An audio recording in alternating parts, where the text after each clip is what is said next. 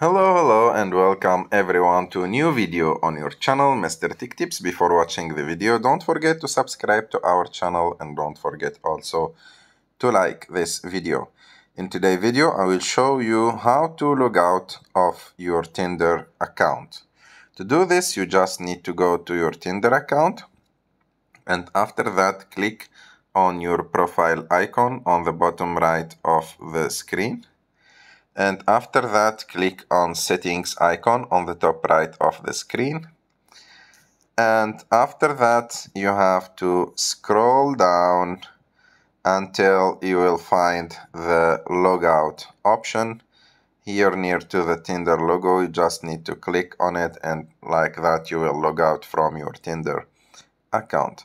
I hope that you like this video. If you like it don't forget to send it to your friend and also don't forget to click on the like button and see you in the next video